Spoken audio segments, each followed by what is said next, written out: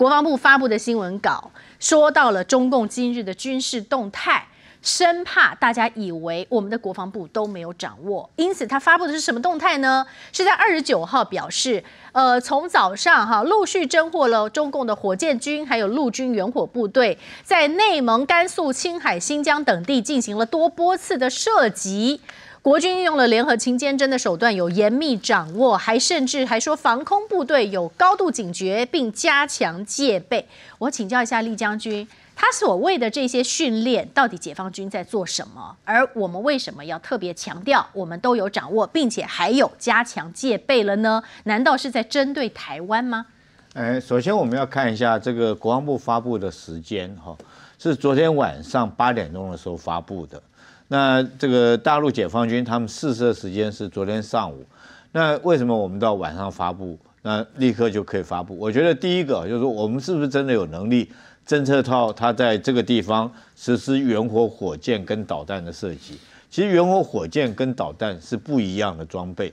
远火火箭它等于说合理来讲它是没有导引的，我们叫火箭。那若有导引的，我们国军称为飞弹，那大陆解放军他们称之为导弹。顾名思义嘛，哈，这个导就是引导的意思，我就可以很精准命中。那通常来讲的话，导弹又分两种，一种叫巡弋型的，就是贴着地面飞，等于说一一架会在地上飞的飞机一样啊，它可以顺着地形转弯，然后干什么？另外一种叫弹道导弹，就打到外太空再返回地球的，这种叫弹道飞弹，哈，有这有这两种。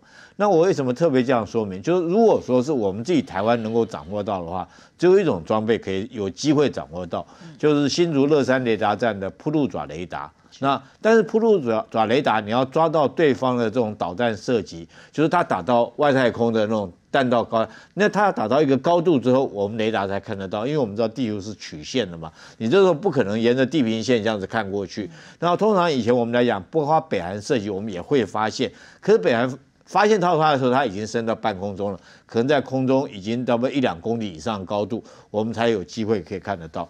那这次很特别的，就是我们特别发布说，我们不但看到你导弹哦，我们还看到你的原火火箭哦。原火火箭来讲的话，它的飞行高度没有那么高。那我们铺路爪有没有机会在这个甘肃这个地方涉及？我们看得到，我抱了很大一个疑问啊，存疑了，因为这是科学的问题嘛，哈。那看不到他怎么知道？可就，我关键就在这个地方。那为什么这时候发布？美军看得到。美军他有这个卫星或这些装备，他可以看得到，那就很代表他国防部发布这个讯息，就是说我们跟美国有情报的交换哦，这个意思，他是在跟解放军讲说，美国会提供给我们。你这方面的情报，我相信这个情报绝对不是我们自己。你说在沿海地区解放军的飞机，那当然是我们自己的这种雷达看到哈。但是这则新闻很明显的，你看以前没有发布说是在甘肃地方试射远火火箭，我们掌握到。那为什么这次在晚上，昨天晚上半夜八点钟发布？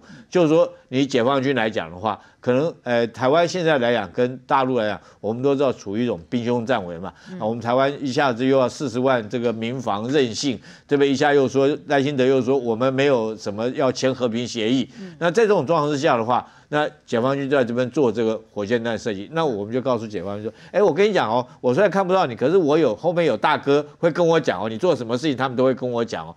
我觉得意义在这个地方。那大哥要当下马上要通知啊，不然的话我们隔了这么晚，人家早上都在做这件事，我们是晚上才发布，我们晚上才知道啊。啊，对啊，但这个东西，呃，为什么有这个时差哈？可能就高层他们去解读了哈。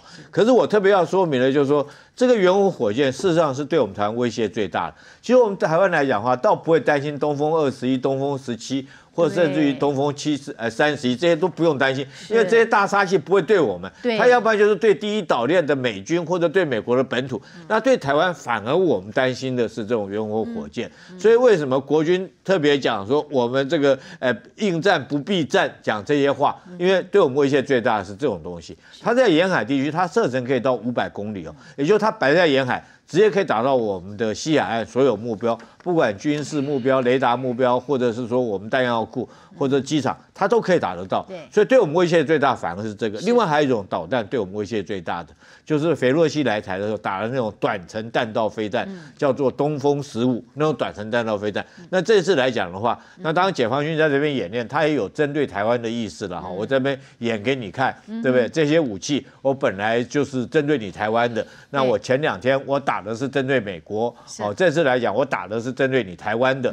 然后第二个，我们台湾也当然要有所表示，说我们后面有大哥，我们大哥会跟我讲你做什么坏事，要准备怎么欺负我们，我们大哥都会告诉我们。我想说双方来讲有这种意味较劲的意思在里面，因为这则新闻也蛮特殊的，以前没有发布这种新闻。对台史上最大笔的军援呐，哦。来看看到底是多大的军援呢？五点六七亿美元，大约折合台币目前的汇率来算，一百七十九亿。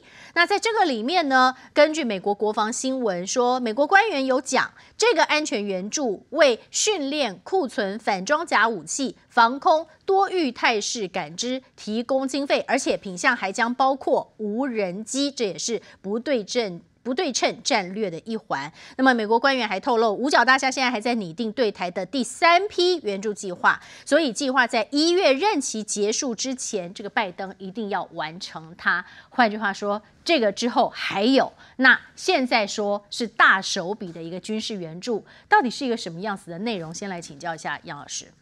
它是军事援助哈，它不是军售。那所以呢，你就要回到今年四月的时候，拜登跟国会要求的九百亿对于乌克兰、以色列以及印太地区的军事援助，九百亿美金呢？这九百亿就是六百亿给乌克兰，啊，中间大概一百四十四亿给以色列。所以从那个时候到现在，以色列的炮弹，到包括这一次把那个以色列把真主党的领袖炸死的那些炮弹，两两千磅的炮弹都是。在这个 package 里面的军事援助，那个时候我们大家就在看哦，这印太，印太包含什么呢？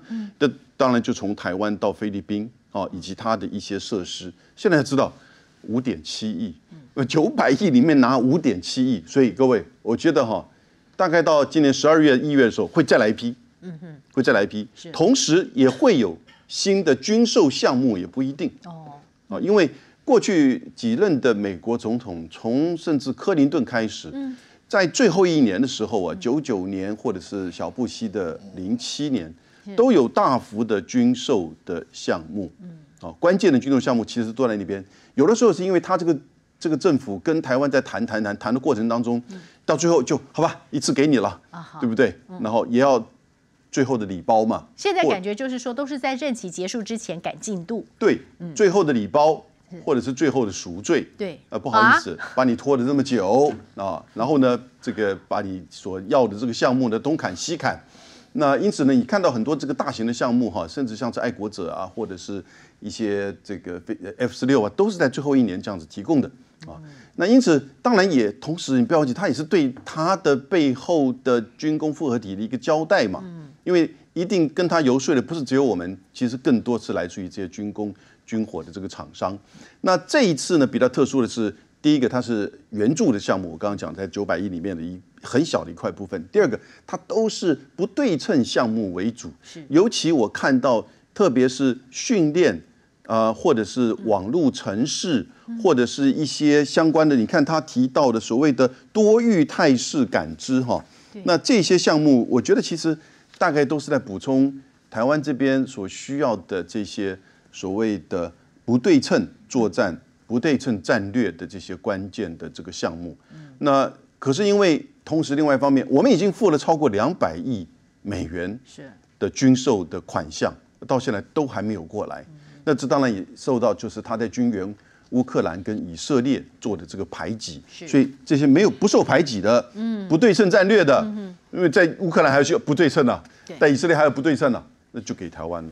今天最后呢，还是要有秦教官再一次的跟大家推荐这个非常好用的产品，我自己也很喜欢，它就是 KS 皇家呵护抗光清爽高防晒系数的凝露，哈，非常的清爽，而且呢，这抗紫外线非常的有用，欢迎大家能够多多的利用。我们的中天快点购平台来选购哦，并且还可以打 CTI 七九八 CTI 七九八，我的推荐代码可以享有额外的折扣。朋友都知道我是很挑剔的，防晒乳我选 Kiss 皇家呵护抗光清爽高防晒凝露，因为它有媲美蓝光神盾的抓藻植萃，保护我在阳光下延缓肌肤老化，维持青春弹力，可以防御工作环境里的三 C 商品，各种光源对肌肤的伤害，擦起来清爽不黏腻。我特别喜欢它做到海洋友善。三百六十五天，天天抗光抗老化，是我的保养日常。你呢？呵护您，呵护全家人，专属你的 KS Royal Care 抗光清爽高防晒凝露。